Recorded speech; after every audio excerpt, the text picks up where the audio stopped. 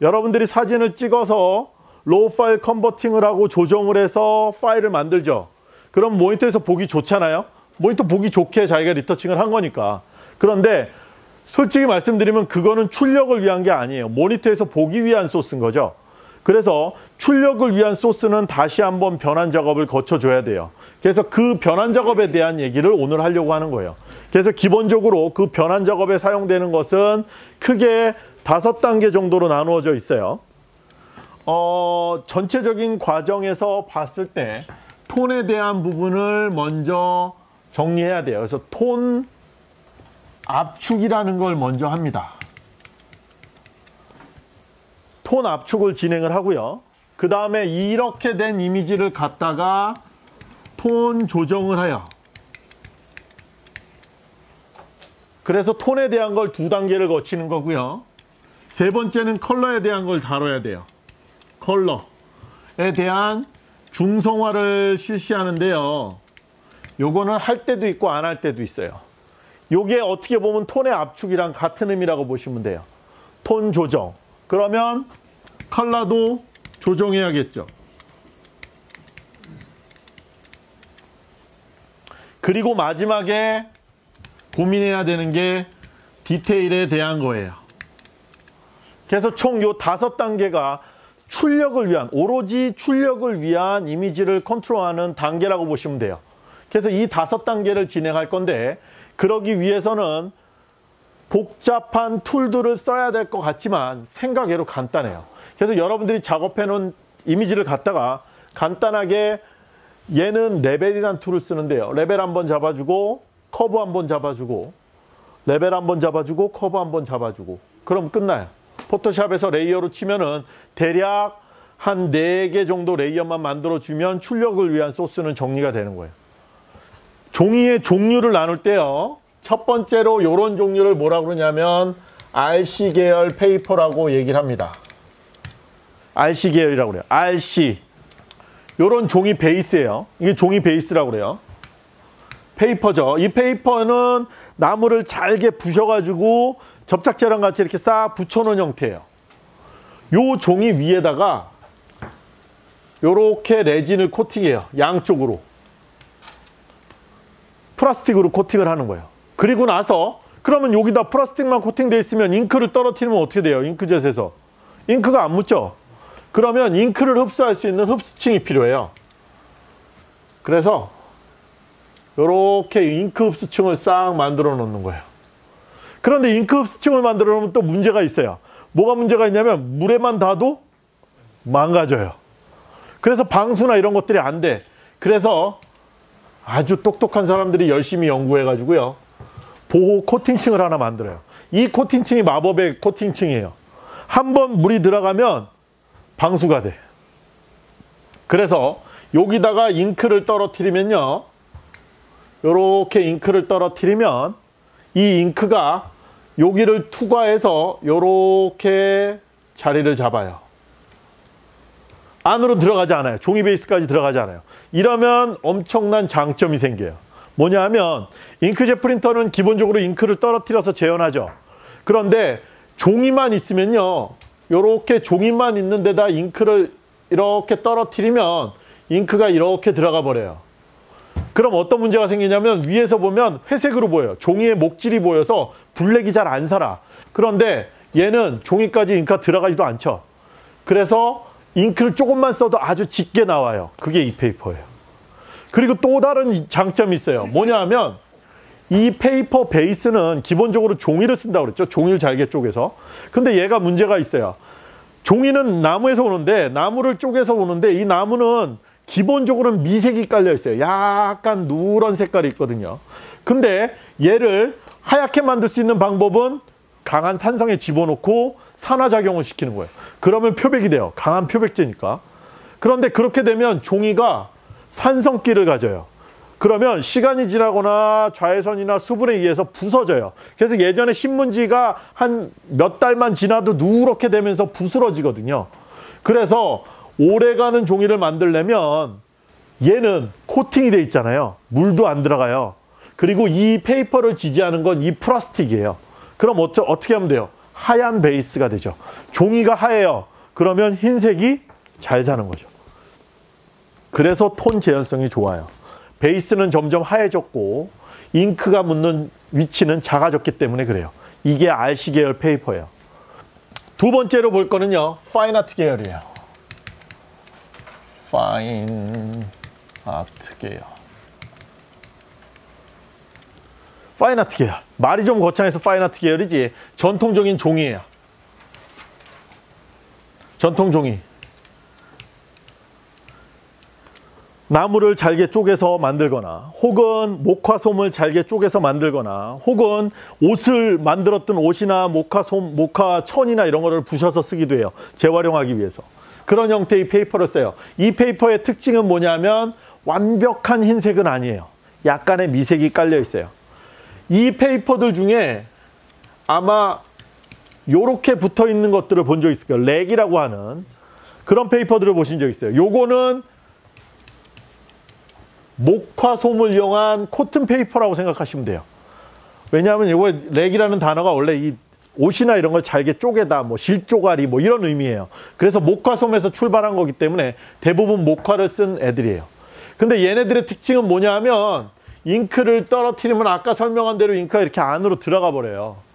그래서 종이는 좋고 고급스러운데 문제는 색깔이 제대로 재현이 안 되는 거예요. 블랙이. 그러면 이 문제를 어떻게 해결할까 고민을 하다가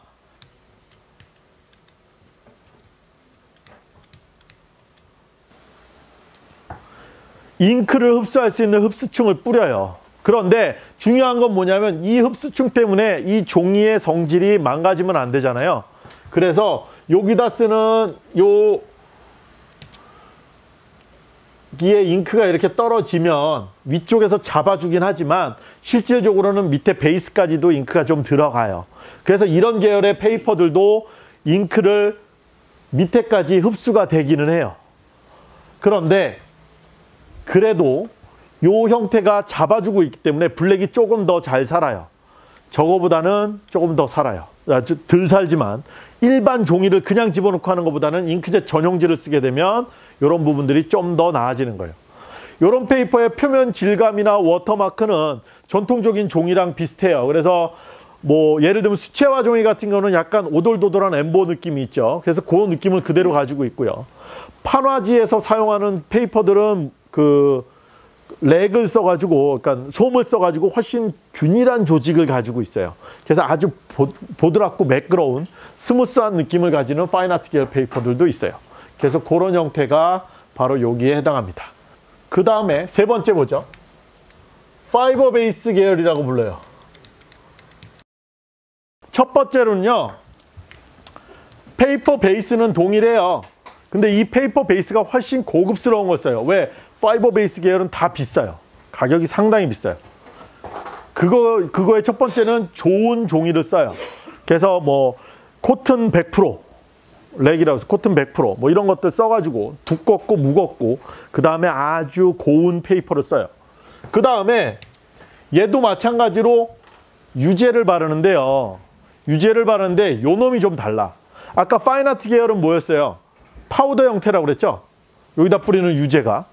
그래서 파우더가 떨어진다고 그랬어요. 근데 얘는 뭐냐면 젤라틴 같은 거예요. 약간 끈적끈적한 그런 느낌이에요. 그래서 약간 습기 있을 때 손바닥 이렇게 붙여보면 손바닥 이렇게 달라붙어요, 종이가.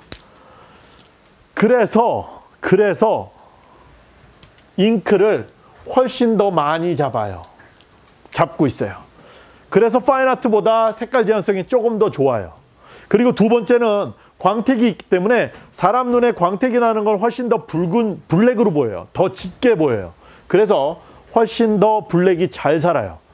결론적으로는 페이퍼가 가지고 있는 톤이 훨씬 더 잘 재현되는 페이퍼 중에 하나가 되는 거예요. 써보시면 알겠지만 되게 고급져요. 그래서 사진으로 만들어 놨을 때 보기가 좋고요. 특히나 black and white로 만들어 놓게 되면 예전에 사진을 은염 사진을 하셨던 분들은 옛날에 대한 생각들이 많이 나서 되게 고급스럽게 인식되는 페이퍼 중에 하나예요. 첫 번째는 색에 대한 거. 색을 어떻게 뽑을 것인가. 내가 뽑는 저 프린터가 색을 어떻게 재현하는가 빨간색을 제가 뽑으려면 어떻게 표현하는가 그걸 결정해 주는 게 있고요. 그 다음에는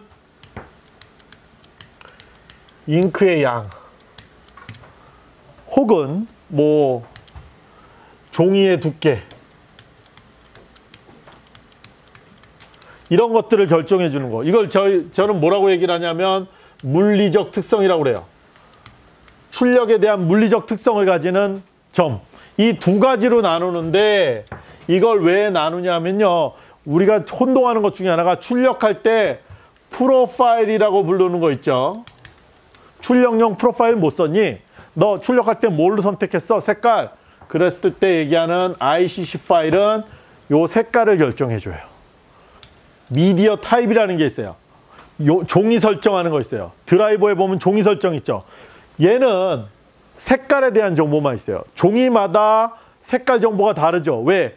종이의 베이스 컬러가 달라서 그래요. 노란 종이도 있고요. 하얀 종이도 있어요. 그래서 빨간색을 넣었을 때 얘는 노란색이 낀 빨간색이 나오고요. 얘는 그냥 빨간색이 나와요. 그 색깔의 차이를 조정해 주는 건 ICC 프로파일이라고 해요. 그런데 아까 본 종이의 종류들이 있었죠. fiber base, RC 이 각각 종이마다 넣어야 되는 잉크의 양에 따라서 색깔 재현되는 정도가 달라요. 예를 들면 RC 계열 페이퍼에다 잉크를 막 집어넣죠. 그럼 뽑았을 때 잉크가 쭉 흘러내려요. 너무 많이 뿌려져서. 그런데 fiber 그 fine art 페이퍼에다가 잉크를 조금만 넣잖아요. 블랙이 안 나와요. 뿌옇게 떠요. 그래서 그 정도를 결정해 주는 게 바로 media type이라는 거예요. 자, 요거는 포토샵 안에 있는 프로그램이에요. 포토샵 프로그램이에요, 이건. 그런데 포토샵이 프린터를 직접 컨트롤하려면 포토샵이라는 제조회사, 어도비에서 모든 프린터 제조회사의 프린터의 성능을 다 이해하고 있어야 되죠. 그래야 모든 옵션을 줄 수 있어요. 그런데 그렇게 할 수는 없어요. 왜냐하면 프린터 제조회사가 얼마나 많은데 그걸 어도비가 다 어떻게 핸들링해. 그러다 보니까 어떤 방법을 취했냐면 컴퓨터에서 윈도우즈 혹은 맥 OS라고 하는 시스템을 만들 수 있는 프로그램이 있어요. 우리 처음 시키면 부팅한다는 거 있죠. 이게 바로 요 시스템에 해당하는 kernel이라고 불리우는 놈이에요. 이 위에다가 우리가 시스템에 해당하는 걸 컨트롤할 수 있는 graphic user interface라고 하는 화면을 보여주는 거예요. 여러분이 보시고 있는 마우스로 움직이는 이런 것들을 움직이도록 해주는 거예요. 그러면 프린터 제조회사들은 여기다가 드라이버들을 만들어놔요.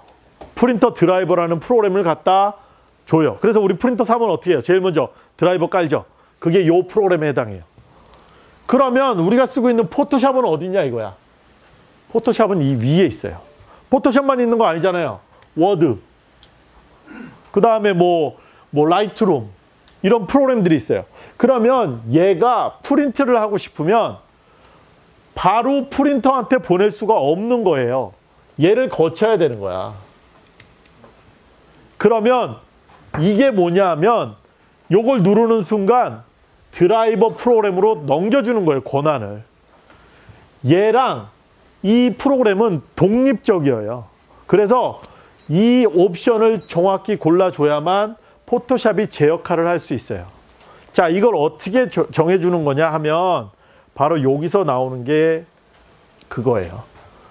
프린터 매니지드 칼라라고 하면 뭐냐면 포토샵은 나는 색깔 안 건드릴게. 그냥 데이터 던져줄 테니까 이거 들어가서 이 드라이버한테 색깔에 대한 거 물어봐. 그럼 아마 이렇게 해서 들어가시면 엡손 드라이버 리스트에 보면 칼라 조정하는 거, 색 조정하는 거 다 들어있어요. 그 안에. 단순한 방법이긴 하지만 아주 복합적이고 뭐 프로파일 선택하고 이런 거 없지만 뭐 예를 들면 좀 더 빨갛게 좀 더 파랗게 다 조절할 수 있어요. 그거를 선택하려면 요걸 쓰라는 거예요. 이걸 누르는 순간 요 밑에 프린터 프로파일이라는 게 활성화돼요. 프린터 프로파일이라는 게 활성화되면 뭐냐면 아까 얘기한 색깔을 결정해 주는 프로파일을 미리 집어넣어 준 게 여기 뜨는 거예요. 그러면 여기 보시면 P800 해서 각각의 페이퍼에 대한 프로파일들이 떠 있죠. 여기서 먼저 결정을 해주는 거예요. 그래서 우리는 포토샵을 쓸 줄 알고 포토샵이란 강력한 툴이 있기 때문에 포토샵 매니지드 칼라를 써가지고 색깔을 조절할 거예요. 그래서 얘를 설정해요. 그러면 얘가 활성화돼요. 얘가 활성화돼.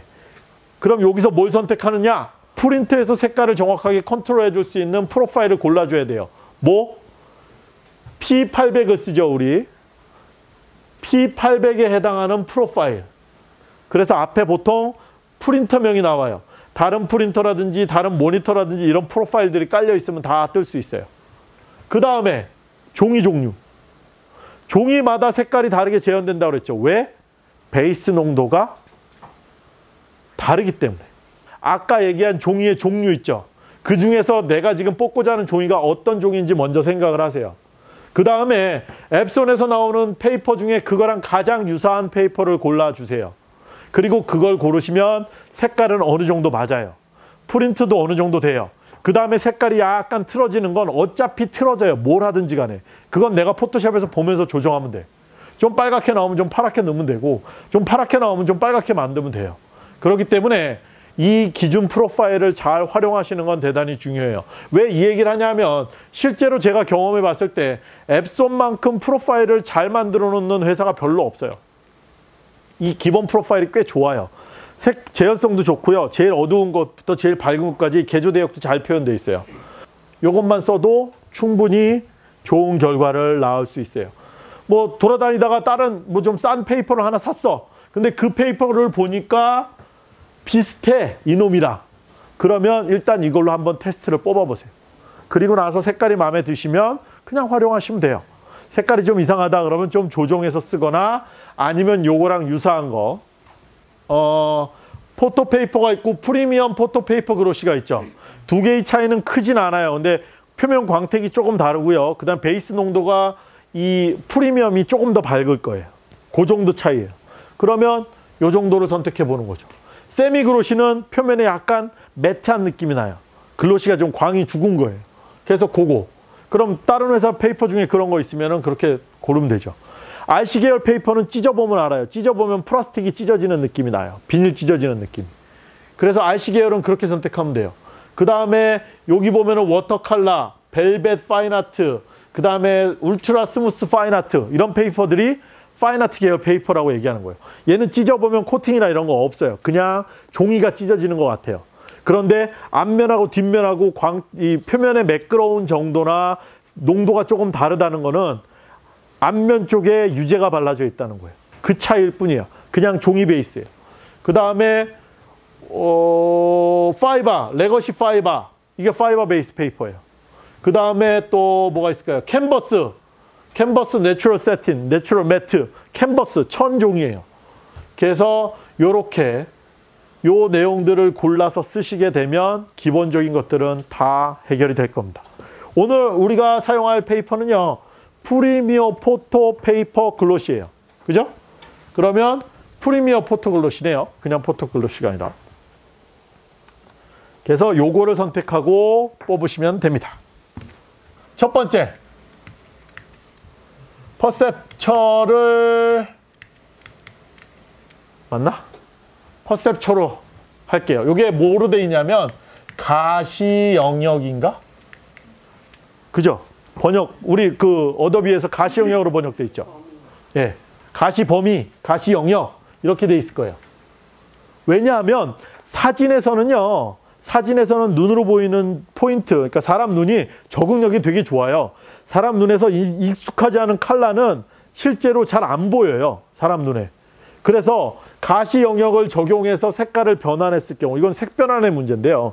왜냐하면 우리가 가지고 있는 데이터가 출력하는 종이보다 훨씬 더 많은 색깔을 가지고 있어요. 여러분이 찍어놓은 데이터는. 얘를 이 안에 꾸겨 넣어야 되거든. 꾸겨 넣을 때 어떻게 꾸겨 넣을지를 결정하는 게 요 칼라 변환 intent라고 하는 거예요. 그런데 가시 영역으로 쓰시게 되면 사진에 가장 편안하게 바뀌어요. 그래서 이걸 말씀드리는 거고 이게 마음에 안 든다. 그러면 그 다음에 선택하는 게 렐러티브 칼라 매트릭이에요.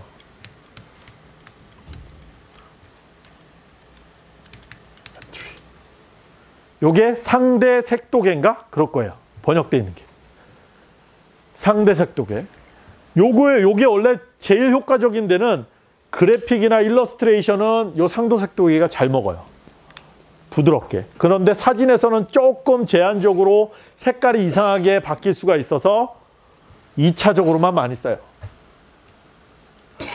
그 다음에 세 번째는 세츄레이션이에요. 요거는 색조 뭐 이렇게 돼 있을 거예요. 채도 뭐 이렇게 돼 있을 거예요. 요거는 색깔이 서로 많이 갈라지도록 조정해 주는 역할을 해요. 색깔을 많이 틀어 주는 그런 애예요. 그래서 실질적으로 이렇게 해서 출력을 하면 색깔은 정확히 명료하게 구별이 돼요. 그런데 나, 낯설은 못 보던 색깔이 나오실 수 있어요. 네 번째는 마지막 남은 거. 앱솔루트 칼라메트릭. 절대적인 색도계. 얘는 색깔뿐만 아니라 흰색과 검은색도 바뀌어요. 그래서 아주 위험한 상황이 아니면 쓰시면 안 돼요. 이게 사진을 선택할 때의 순서예요. 1번을 넣어봐서 뽑아보고 마음에 들면 오케이. 마음에 안 들면 2번. 마음에 안 들면 3번. 마음에 안 들면 4번. 그런데 제 경험상 2번 넘어간 사진은 없어요. 만약에 그래픽이면 얘기가 달라. 뭐 혹은 뭐 그림이나 뭐 유화나 이런 건 모르겠지만 원칙적으로는 첫 번째 거를 선택해 주시면 큰 무리는 없을 겁니다. 프린트 세팅에 대한 얘기를 해보자고요. 여기서 종류를 정하는데요. 우리가 여기서 볼 제일 중요한 거는 바로 요거예요. 우리가 보고자 했던 건 바로 요거야. 매체 종류, 미디어 타입이라고 얘기하는 거. 우리가 해야 될 거는 톤에 대한 거예요.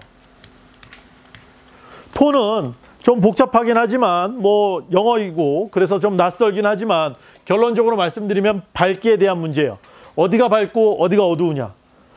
모니터가 어두운 경우에는 충분히 밝게 이미지를 올려야만 제대로 된 이미지가 보일 거예요. 그리고 모니터가 너무 밝은 거는 충분히 눌러줘야만 블랙이 살아날 거예요. 그래서 모니터가 표현할 수 있는 밝기의 정도는 실제로 프린트가 표현할 수 있는 밝기의 정도보다 훨씬 넓어요. 그런데 이 파일을 프린터로 보낼 때 내가 모니터에서 보기 위해서 정리한 데이터를 그대로 보내버리면 프린터가 표현, 표현할 수 있는 블랙과 화이트의 양 끝단으로 다가갈 수가 없어요. 그래서 조정을 해주는 게 톤압축이에요. 톤압축은 철저하게 블랙과 화이트만 가지고 얘기를 해요. 자, 히스토그램을 한번 볼게요. 자, 히스토그램 보신 적 있죠? 포토샵에서 항상 떠 있어요. 이미지를 분석할 때 아주 중요한 기준점이에요. 뭐냐면요. 자, 이 기준점에 해당하는 건 요쪽은 0이고요. 요쪽은 255예요. 이 수치는 아무 의미가 없어요. 그냥 한쪽은 화이트고 한쪽은 블랙이다라고 생각하시면 돼요. 그리고 그 중간에 있는 점들, 각각에 있는 픽셀에 대한 값을 통계를 내가지고 여기다가 다 갖다 세워놓은 거예요. 그래서 이 높이도 의미는 없어요. 왜? 어떤 픽셀이 한 2,000개가 되면 이 끝은 2,000이 되는 거예요, 그냥. 그리고 어떤 개의 끝이 200이 되면 그냥 끝은 200이에요. 그래서 전체적인 분포만 우리가 느끼고 있는 거예요.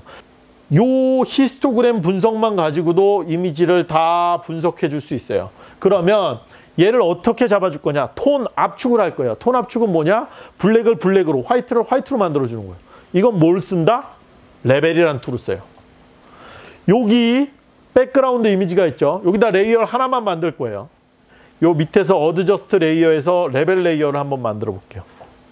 블랙이 많은 거고 255니까 흰색이 없는 거예요. 그럼 여기서는 정말로 하얀색은 없는 거예요. 그럼 다시 말해서 회색이 있다는 거죠. 요거를 시각적으로 확인해 볼 수 있는 방법이 있어요. 뭐냐면 옵션 키를 옵션 버튼을 누른 상태에서요. 요, 요 삼각형을 한번 클릭해 볼 거예요. 지금 블랙 보이시는 영역 있죠? 이 부분은 지금 해당하는 부분이에요. 다시 말해서 완전한 블랙 있는 부분이 이 부분이에요. 어, 생각보다, 생각보다 덩어리가 그렇게 크지 않죠. 골고루 분포되어 있고, 진짜 블랙에 해당하는 부분. 그죠? 진짜 블랙에 해당하는 부분에 좀 깔려 있어요. 이 정도면 나쁘지 않아요. 블랙을 재현하는 거. 그럼 화이트를 한번 볼까요? 이쪽을 한번 잡아볼게요. 흰색은 없네요. 그죠? 흰색을 조금만 잡아보자고요. 요 정도. 아, 흰색은 있어야지. 그죠? 아주 하얀 데는 있어야죠. 그럼 요 정도. 다시 말해서 여기 여기 요 두 군데 짠 요 정도만 잡아주는 거예요. 톤 압축 끝났어요. 이게 다예요. 별거 아닌데 요거 잡아주는 거 별거 아닌데요. 여러분이 가지고 있는 모든 이미지에서 이것만 잡아주면 사진 품 출력 품질은 100% 향상됩니다. 100%예요. 그래서 뭐든지 출력하기 전에 아무것도 하지 마시고요. 이것만 해주셔도 여러분이 원하는 대로 좋은 결과물이 나올 거예요. 왜? 프린터 드라이버나 프린터에 있는 모든 소프트웨어는요. 요 끝단이 화이트랑 블랙이 되도록 조정이 돼 있어요. 모든 프로파일은 그렇게 설계돼 있어요. 그래서 여러분이 그런 데이터만 보내주면 돼. 그래서 레벨로 요걸만 잡아주는 거예요. 어떤 사진이든, 사진이든지 간에 색깔이 푸르딩딩하건 붉고딩딩하건 블랙은 있어야 되고 화이트는 있어야 돼요. 그래야 중간에 개조가 있는 것 같아요. 전반적으로 빨갛고 전반적으로 파래버리면 흰색도 없이 파래버리면요. 필터가 껴있는 것처럼 답답해요. 이미지가. 그래서 블랙과 흰색은 되게 중요해요. 전반적으로 색깔이 껴있다고 해도 블랙과 화이트를 정리해 주는 거. 이게 바로 톤 압축이에요. 그래서 일단 기본적으로 톤 압축을 통해서 기본적인 느낌은 다 정리가 됐어요. 그런데 조금 아쉬운 건 얘와 얘의 톤이 너무 비슷해서 목표에 대한 부분을 구별해 주기가 힘들다는 거죠. 그러면 이 부분에 대한 톤을 좀 정리를 해줘서 하늘과 좀 분리되는 형태를 만들어주면 어떨까라는 걸 고민할 수 있어요. 그래서 선택되는 툴은 기본적으로 커브 툴을 더 선호해요. 커브 툴을 쓰는 이유는요. 커브 툴은 블랙과 화이트가 고정되어 있는 상태에서 연속적인 것을 줄로 조정해 줄 수 있어요. 볼까요? 이렇게, 이렇게. 어둡게, 밝게. 그러나 블랙도 안 건드렸고요. 화이트도 안 건드렸죠. 아까 톤 압축할 때 우리 블랙도 정해줬고요. 화이트도 정해줬잖아요. 그러니까 이것만 가지고 필요한 정보를 전달할 수 있어요. 그래서 전반적으로 밝게, 어둡게. 그 다음에 콘트라스트를 세게 하고 싶으면 밝은 건 밝게, 어두운 건 어둡게. 그러면 콘트라스트라는 게 만들어지죠. 어두운 건 어두워졌고 밝은 건 밝아졌으니까 그 차이가 더 커졌으니까 더 이미지가 콘트라스트가 세게 나왔어요. 그런데 커브 저 정도로 쓸 일 거의 없어요. 여러분들 이미지 잘 찍으셨으면 이렇게 되면 너무 괴기한 이미지들이 나오고요. 대부분의 경우는 이 정도만 건드려서 밝기 조정을 해요. 자, 여기서 제가 이 부분만 한번 선택을 해볼 거예요.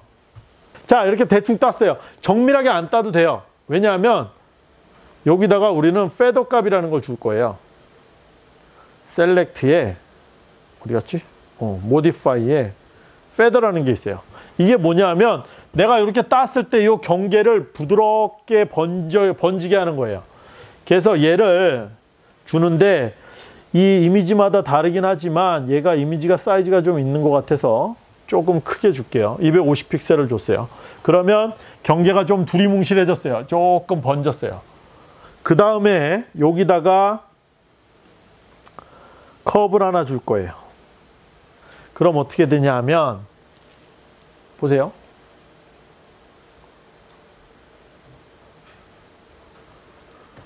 자, 차이가 보이세요? 요 가운데 부분만 좀 밝아졌죠? 그래서 여기에 있는 요 천이나 이런 것들의 디테일이 조금 더 밝게 나오면서 드러, 드러났어요. 어, 여기 이렇게 번진 거 이렇게 정확히 따야 되는 거 아니에요? 정확히 따시면 오히려 티나요. 대충 뭉개세요. 그냥. 사진은 그림이 아니에요. 경계를 그렇게 명료하게 따서 분리할 필요가 없어요. 그냥 내가 주고자 하는 전달되는 부분의 밝기나 이런 것들을 조정하기 위해서 톤을 잡아주는 거예요. 이 정도만 돼도 뭐 큰 문제 없어요. 자, 볼까요? 그럼 제가 레이어를 두 개를 만들었죠. 커브 레이어를 두 개를 만들었어요. 하나, 두 개. 하나는 뭐였죠? 이 부분을 어둡게.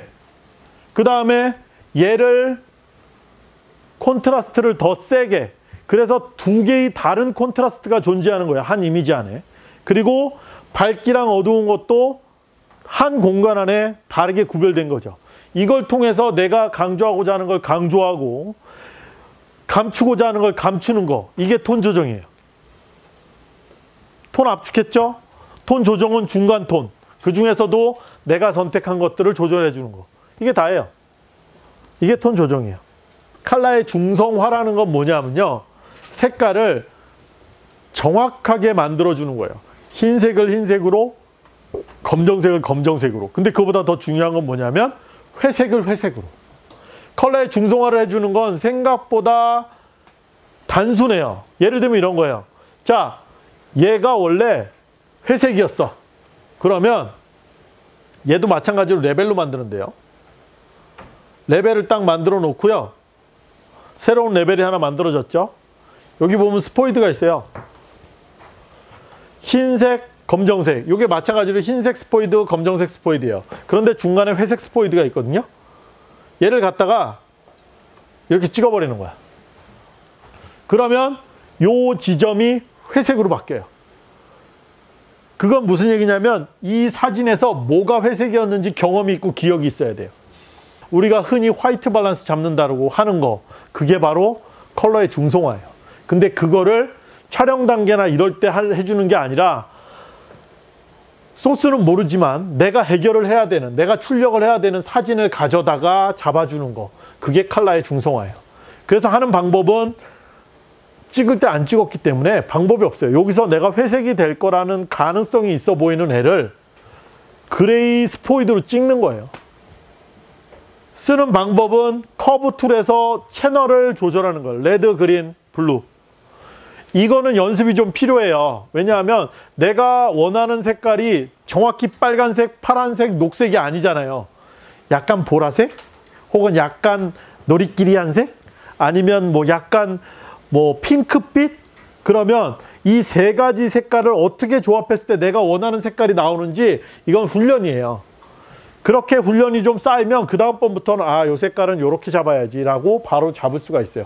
그래서 채널별로 색깔을 조절하는 거 습관화 들이는 건 나중에 최종적인 결과를 잡을 때 되게 중요해요. 자, 그러면 여기까지 해서 칼라 조정이 끝나요. 그럼 우리 다섯 단계라고 그랬죠?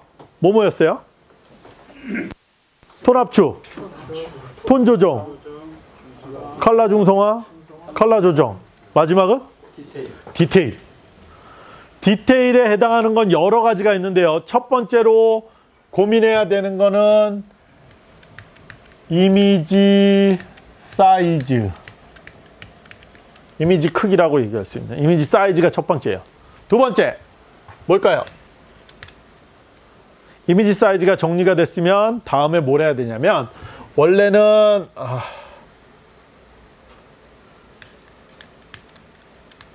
spotting이라고도 하는데요. 이미지 합성 혹은 이미지 조정 뭐 이런 거죠. 뭐 지붕 없애고 뭐 안테나 지우고 뭐 사람 들어다 옮기고 이런 것들. 그게 여기에 해당해요. 그 다음에 세 번째는 세 번째는 unsharp mask라고 불리는 게 있어요. sharpen unsharp mask unsharp mask 포토샵에 있는 기능 중에 하나예요. unsharp mask. 그 다음에 마지막에 뭐가 있을까요?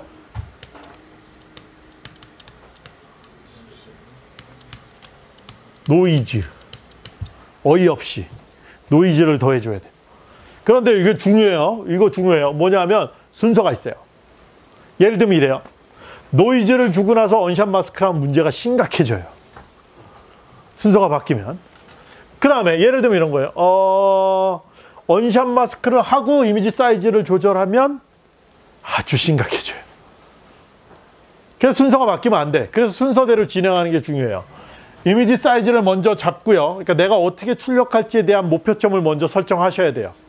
그리고 거기에 맞춰서 spotting을 해요. spotting은 뭐 요즘은 거의 할 필요가 없어요. 이건 spotting은 필름 때 얘기야. 필름 스캔하면 막 잡티 많거든. 그 일일이 다 지워줘야 돼요.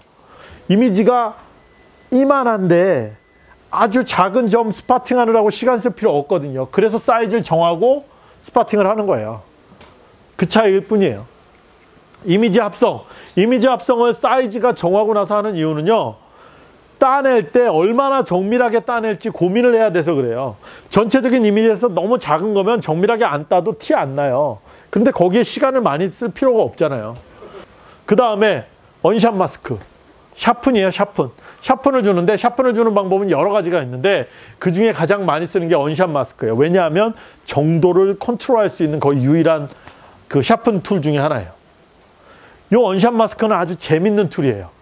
그래서 잘 쓰면 아주 효과가 좋아요. 자, 여기서 질문 하나 드릴게요. 이미지가 커지면 커질수록 sharpen을 더 많이 주는 게 좋을까요? 덜 주는 게 좋을까요?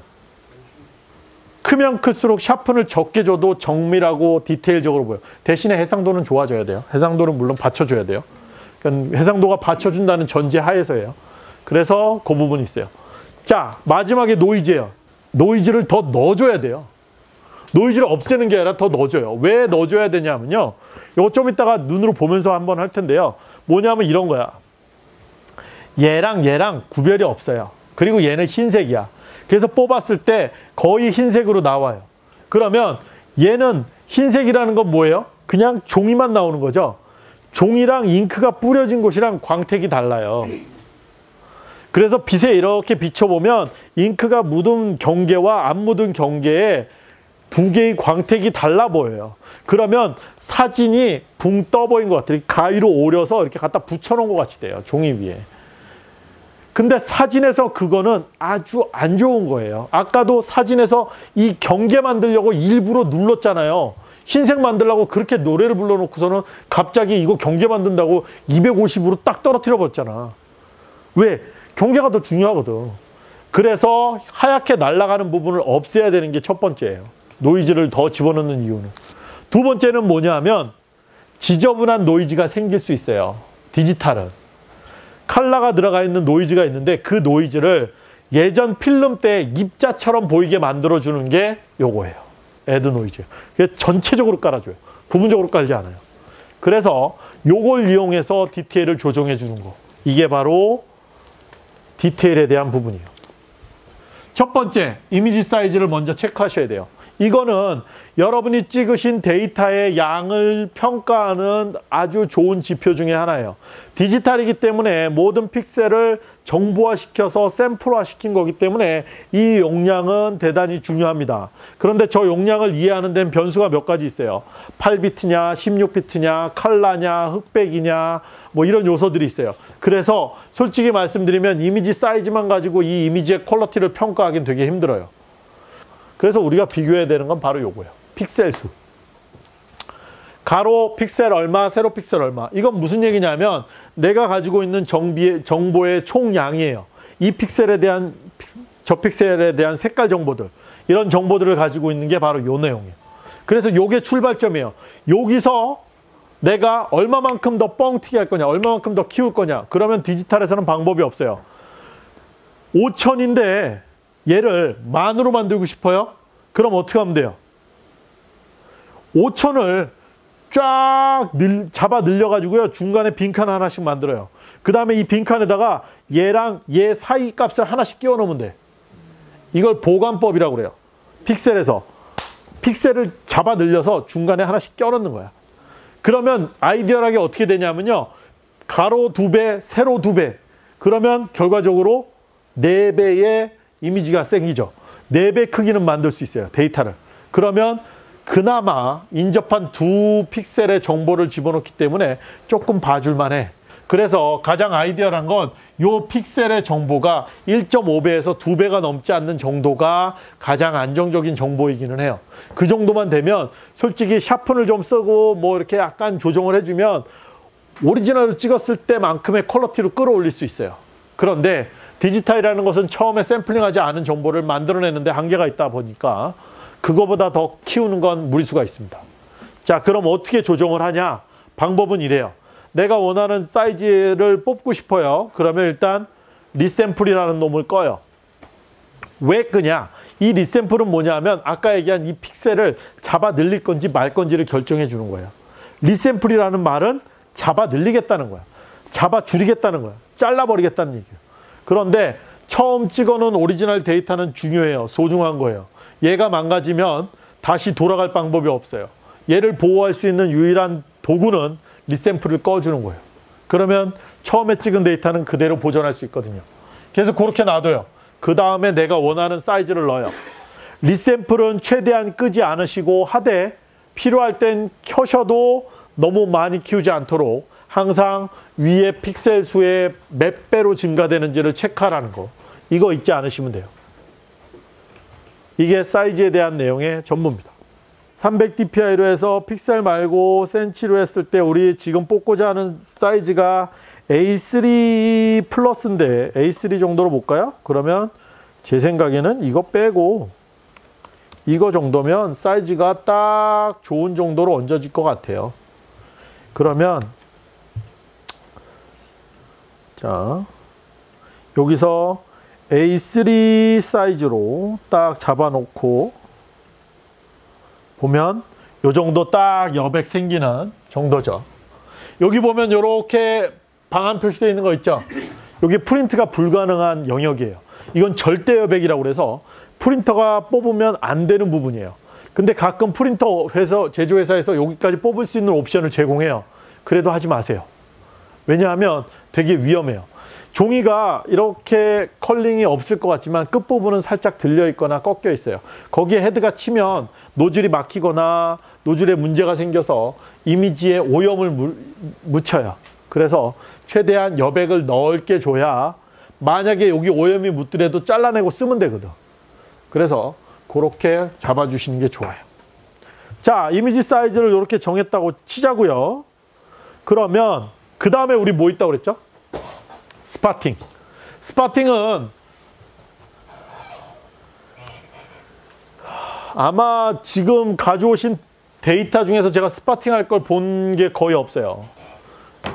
CCD만 열심히 잘 닦아주시면 거의 생기지 않습니다. 디지털에서 spotting에 해당하는 문제는 CCD 표면에 문제 있는, 붙어 있는 먼지 정도가 다예요.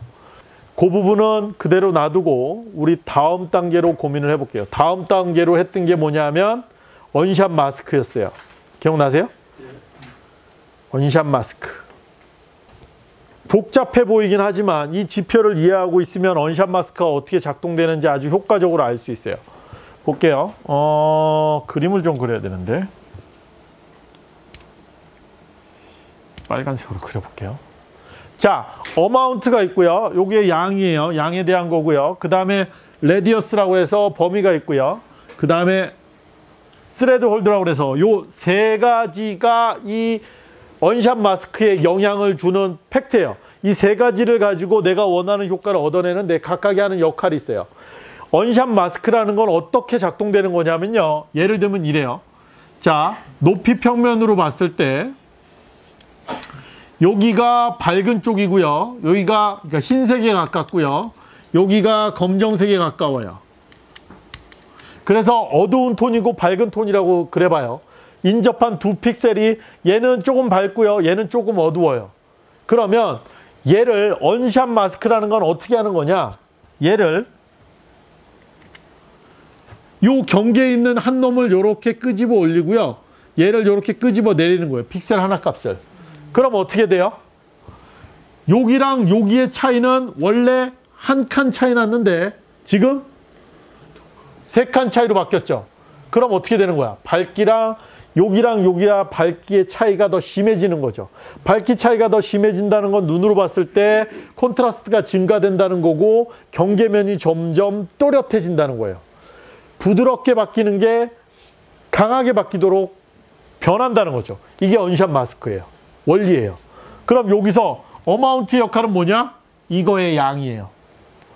100%면 이게 100이면 위아래 50%씩 잡아 늘리는 거예요. 그러면 합이 200%가 되는 거죠. 얘가 더 올라가면 더 바뀌는 거예요. 그래서 이렇게 되면 여기 밝은 쪽에는 흰색 선이 보이죠. 어두운 쪽의 경계에는 검은색 선이 보여요. 왜? 검정색은 더 검정색으로 끌어내렸고 흰색은 더 흰색으로 끌어올렸으니까. 이게 amount의 역할이에요.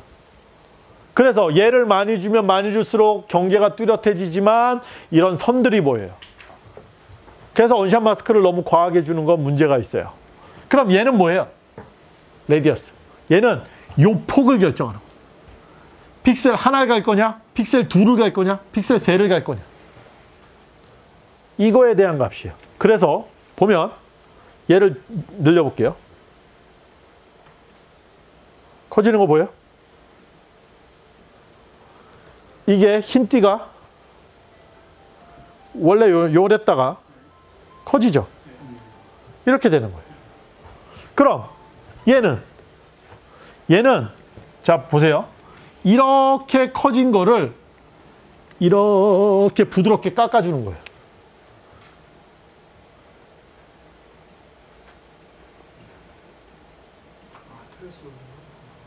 그러면 이쪽에 이렇게 회색 덩어리들이 이렇게 생기는 거죠. 이렇게. 그래서 부드럽게 만들어줘요. 그래서 얘는 상극이야, 어떻게 보면. 원샷 마스크는 결국 경계를 하게 만드는 건데 얘가 세지면 세질수록 이게 좀 그렇게 되는 거예요. 그래서 원칙적으로는 해상도가 충분히 높으면요. 얘는 되게 낮은 수치를 써요. 그리고 레디어스도 얘도 저 뭐 한 1.2 정도도 위험해요.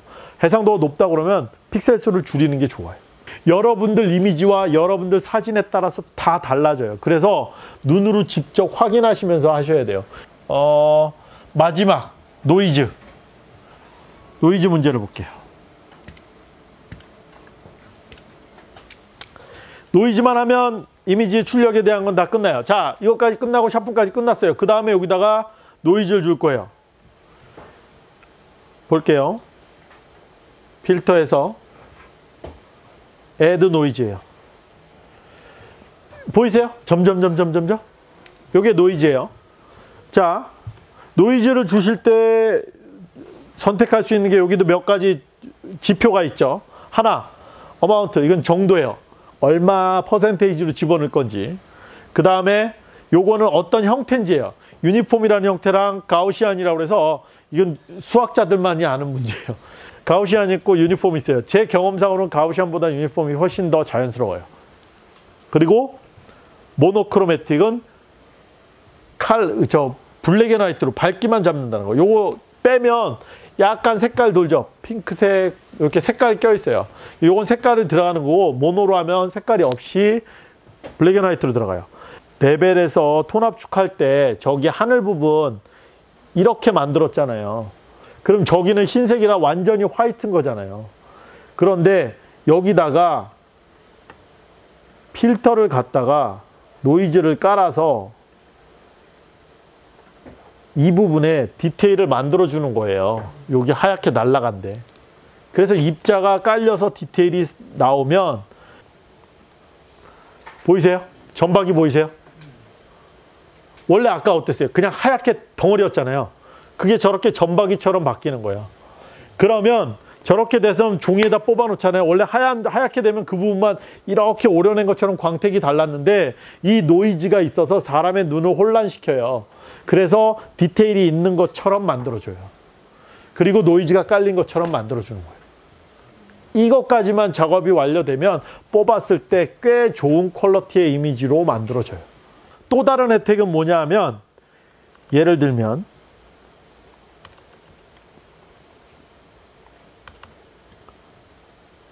자 이게 노이즈를 주기 전이고요. 이게 노이즈를 준 후예요. shadow 쪽에 보면 여기 보면은 약간 멍하게 들어가 있죠. sharpen이 좀 죽어 있죠. 블랙 부분이기 때문에 그래요. 왜? 블랙 부분에는 농도가 없기 때문에 찍는 카메라가 디지털 카메라가 그 명암의 정도를 정확하게 구별을 못해요. 실질적으로 디테일이 있지만 카메라나 렌즈가 디테일을 가, 읽을 수 있는 해상도를 가지지만 어둡기 때문에 구별 못하는 해상도가 있어요. 그래서 얘가 뭉치거든요. 그리고 여기엔 뭐가 생기냐면 노이즈가 생겨요. CCD 노이즈. 상대적으로 이만큼일 때 노이즈는 항상 이렇게 깔리거든요. 이만큼일 땐 티가 안 나. 다시 말해서 빛이 밝은 데선 티가 안 나요. 근데 어두운 곳에 가면 노이즈가 실제 데이터보다 더 많아지는 역전 현상이 생겨서 어두운데 노이즈가 자글자글해지거든요. 근데 여기다가 내가 노이즈를 깔아줌으로 인해서 입자로 바꿔버리는 거예요. 그 노이즈를.